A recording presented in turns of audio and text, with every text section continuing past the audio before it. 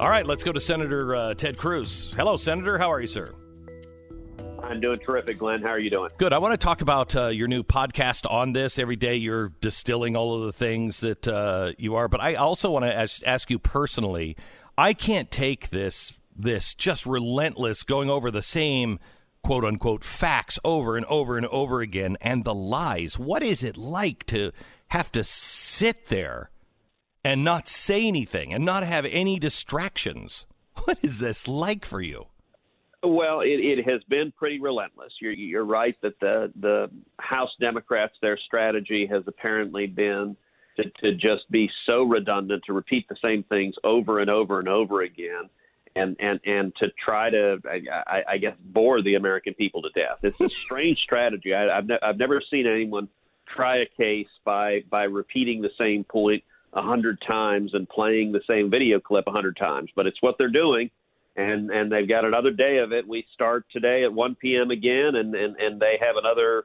Uh, they have an, another nine hours left of their 24-hour opening argument, so so at least that will be end, done by this evening. Has there been anything that has opened anybody's mind and went, "No, wait a minute, hang on, I didn't know that"? Well, did they have they made any good points? I, you know, look, I I think there have been moments. I will say Adam Schiff is a talented trial lawyer. Really, uh, he, he he he has done he he is effective at walking through information. Now, he at times gets gets condescending and begins lecturing people, and I think that becomes much less effective. Uh, but when he's not on his high horse, um, he, he's he does an effective job of, of walking through through various facts. Now, he ignores the other side completely. He ignores the counter arguments. Uh, and and I'll tell you, I think yesterday was a very consequential day because yesterday the, the, the House managers effectively threw Joe Biden under the bus, and and I don't know if they did so intentionally or not, but the reason they did so is they doubled down on what they had started doing on the first day of arguments, which is making the case. Their entire case now is based on the proposition that there is zero evidence that justifies investigating Burisma. Burisma oh, is the gosh. Ukrainian natural gas company on whose board Hunter Biden, Joe Biden's son, sat and was paid a million bucks a year. And their whole case now is based on the proposition that that that, that it was that there was an investigation into Burisma was a fraud, a sham, it was bogus, that, that it was completely without merit, and the only reason anyone might want to wanted to investigate Burisma is because of improper political motives, because Joe Biden would be the president's uh, one of his possible opponents in 2020. Now, as you know, and you've done some great reporting on this, Glenn, that proposition that there's zero evidence to investigate Burisma is utterly and completely absurd. And so I am looking forward to Saturday when when the president's lawyers will, will begin presenting his case because what the Democrats have done is they have opened the door to this, and I hope that the, that the president's lawyer will, lawyers will stand up and systematically lay out the case. Glenn, you mentioned I've launched a, a podcast. The podcast is Verdict with Ted Cruz, and what I'm doing is every night when this thing ends, even if it ends at two in the morning, I'm heading over to the studio, jumping to the truck, heading to the studio, and recording it that night, typically within the hour. My thoughts, my assessments, about a half hour each night and last night's podcast that we recorded just after midnight went through systematically. Here is all of the overwhelming evidence of corruption from Burisma that any president not only had the authority to investigate, but the responsibility yes. to investigate. And, and that ultimately is why President Trump's going to be acquitted at the end of this process. So you you made quite a statement the other day. You said, "Hey, they just opened themselves up for Hunter Biden being a witness." Tell me Tell me about because you mentioned it in uh, I think Wednesday's podcast. The you yeah. know the Republican secret weapon. Tell me what what you mean by that and how you see this playing out. So, so, so the phrase "open the door" it's a it's a phrase you'll see trial lawyers and, and litigators often make reference to, and what it means is when one side makes an issue contested, makes an Correct. issue important to their case, it opens the door then for the other side to bring in the refutation of that. So when they stand up yesterday, the House managers stood up absurdly and argued for, for about an hour that there's no reason at all to investigate Burisma. that opens the door to well, here are all the reasons, and and that means they've been arguing Hunter Biden is completely irrelevant to this case. Well, the House managers have now, uh, through through their arguments, made made Hunter Biden not only relevant; he was always relevant, but critical now because their case is based on that they've built the entire case like a house of cards on the proposition that that that that, there was no reasonable basis to investigate Burisma, and, and that that's just absurd. So I haven't heard your uh, your podcast yet on on Burisma and everything else, but do you tie in the fact that what was his name, Kolov Koloshovsky? I can't remember his name, but the the head guy of Burisma is also the head guy of Privat Bank.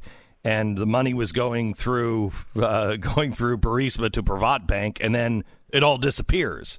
I mean, it's the same guy, and uh, and they're doing an investigation now. Ukrainian, yes, they're they're and he's a Ukrainian oligarch who who has been investigated as a, assets seized for money laundering. And Joe Biden was right in the middle of this. And as you right. know, but not enough people across the country know, Joe Biden bragged about. I mean, I mean, was proud of that he threatened to hold up a billion dollars in Ukrainian aid in, in foreign loan guarantees un, unless and until Ukraine fired the prosecutor that was investigating Burisma, the company that was paying his son a million dollars a year. I, well, I mean, it, it is.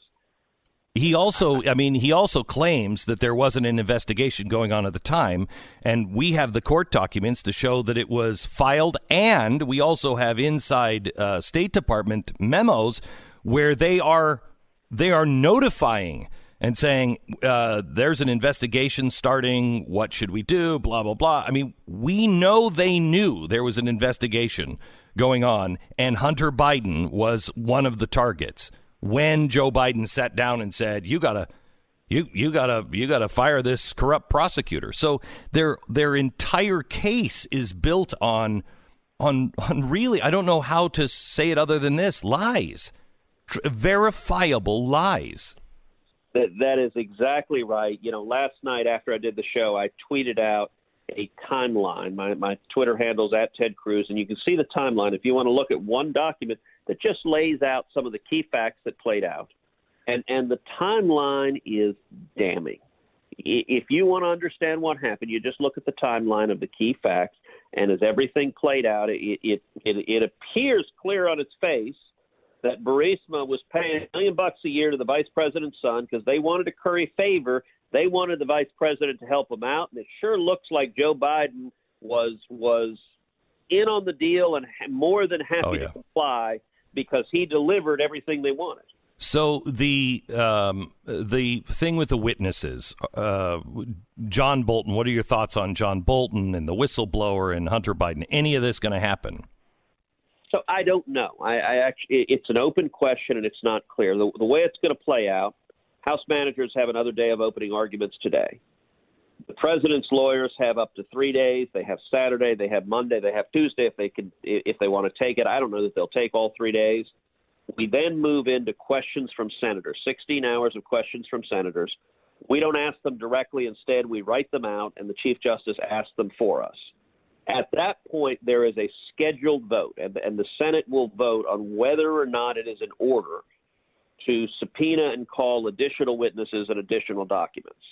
If 51 senators say no, no, that we've got plenty, we've got all we need to decide this, then it's over. Then we'll move directly to final judgment. We'll vote, and, and the president will be acquitted because the House managers haven't proven their case and they haven't met the constitutional standards for high crimes and misdemeanors. Okay, so Ted, let me ask let me ask yeah. you this because there's two trials going on, and I want you to take off your lawyer hat for a second, and and even your political hat. Um, you know, the president, if he is uh, if he is indeed. Um, not guilty, which I believe he's not, and and he should not be removed. When you've won the case, lawyers should sit down and not well. Let's roll the dice. It, you've won the case, close it. However, there's another trial going on, and that is this. I sat down with Stu, and I was I was going over yesterday's um, uh, impeachment hearing, and I I said to Stu, I have no faith. If this is what this government can do to the president of the United States and get away with it, what even if he is even if he is voted to remain in office, I don't have any trust in our judicial system. I have no trust in our system. How can you make sure that the American people see it as a fair trial? um, and and do enough to hear from people that on both sides are like, well, I wouldn't mind hearing from that person without torching the other side, which is the legal side of, hey, what? Why open any doors? He's won.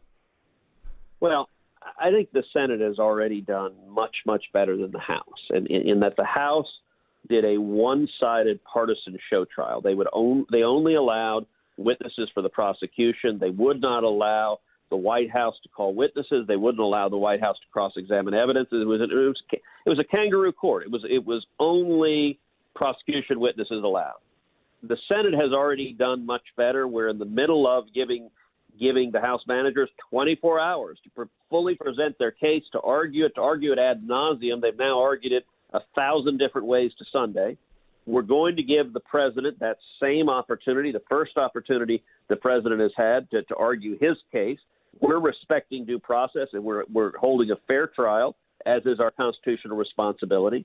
Uh, I hope what happens is I hope the president's lawyers do an effective job making this case, laying out the defense. I, I pulled the president's lawyers aside last night and urged them that they need to systematically walk through less of the process, but the substance. Make the case why the president is innocent, and I think Burisma is front and center. And so so, so what I walked through on the podcast last night of, of the evidence uh, uh, of corruption at Burisma, I, I encourage them walk walk through that, play the clips, play the clip of Joe Biden bragging uh, about mm-hmm. forcing Ukraine, pressuring Ukraine to fire the prosecutor. He admits it out of his own mouth. You don't you don't have to, to uh, infer that he did that. He admits that. Um, make that case, and and and once that case is made, there one or two paths will go down if 51 senators say, you know what, we've got enough to decide that, then it's fine. And you're right. Once you've won your case, you don't need to do any more. Um, so I'm perfectly fine with that outcome of saying we've got enough. Let's move to judgment. Let's vote not guilty and acquit the president. On the other hand, I look, I can't control how the other 99 senators vote. 47 senators, all of the Democrats, will vote for more witnesses because they want a fishing expedition because sure. they know they haven't proven their case it is at least possible that four Republicans will join them. There are several Republicans that have talked about joining them. The case that I've made to, to the other Republican senators is I've said, listen, if we go down the road of witnesses, then at a minimum, we can't be unfair and partisan like the House was. We need to respect the principle of reciprocity. That means if the prosecution gets a witness, the defense gets a witness. So if the prosecution gets John Bolton, then the defense gets Hunter Biden. And, and, and I think there is widespread agreement among the Republican conference that, that, that we will do that, which means it's either over next week with final judgment and acquittal, or this thing is going on for potentially weeks or months, but we're going to get be even handed, which means we'll get to hear from these defense witnesses that the House Democrats wouldn't allow to testify.